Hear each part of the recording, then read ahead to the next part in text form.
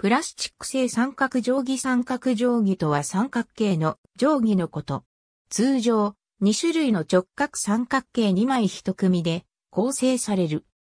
製図用に用いられる三角定規は角が45度45度90度の三角定規と角が30度60度90度の三角定規の2枚1組となっている。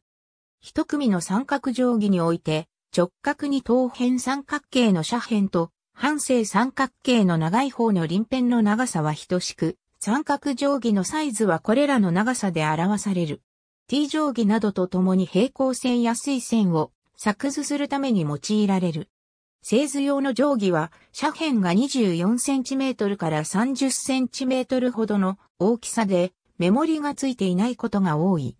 紙など測定対象との間に空気が残らないよう中心に穴が開いているものが多い。この穴から空気が逃れるため、市場にしっかり固定させやすい。一般向けの三角定規は主に合成樹脂を素材にして作られているものがほとんどであり、木製や金属製のものは稀である。また形状から竹製のものはない。カッティング用や建築用のものは定規に傷がつきやすいため、アルミ製のものが多い。